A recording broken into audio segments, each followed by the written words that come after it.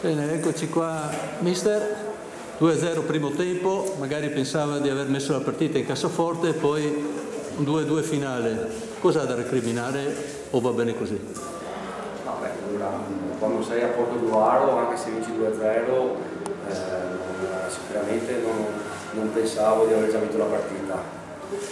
È ovvio che in spogliatoio avevo chiesto ai miei ragazzi di fare attenzione soprattutto i primi minuti perché ovviamente loro si sarebbero rimessati nella nostra metà campo.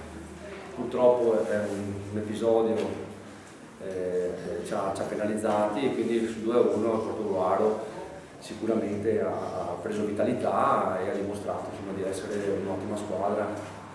Nonostante questo, se facciamo il 3-2 alla fine probabilmente non dobbiamo niente perché a livello di occasioni, adesso ovviamente io sono mente calda quindi potrei anche sbagliarmi, ma mi sembra che come occasioni non abbia avuto grossissime occasioni in Portogallo, mentre noi alla fine potevamo anche fare il 3 Comunque ci teniamo a questo punto che per noi è importante e, e andiamo avanti. Insomma. Il rigore lo trovo giusto? E il rigore, scusi, il rigore dato a... Sì, al Portogruaro, sì. Sì, secondo me mi sembrava che fosse rigore. Siete riusciti a fare la partita che avevate preparato?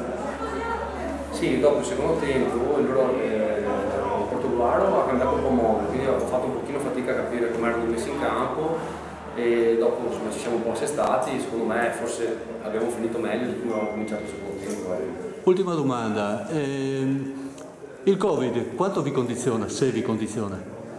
Ma niente. Niente. Facendo attenzione, che facciamo anche al lavoro e Cioè non vi penalizza nella preparazione o, o quant'altro? Voi ancora non siete stati toccati?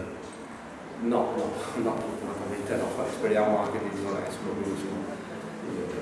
stesso che partiamo tutti quanti allo stesso piano, cioè noi non siamo penalizzati.